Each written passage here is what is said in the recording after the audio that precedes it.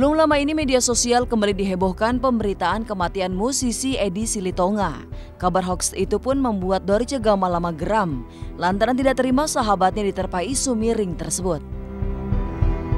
Ya berita yang keluar kemarin saya sangat prihatin terutama kalau ada memang teman-teman artis yang gegabah harusnya mereka uh, cross check dulu lebih baik karena bagaimanapun juga semua orang akan mati sih. Cuman artinya kalau kematian itu lebih diberikan informasi jelas dari keluarga itu lebih baik.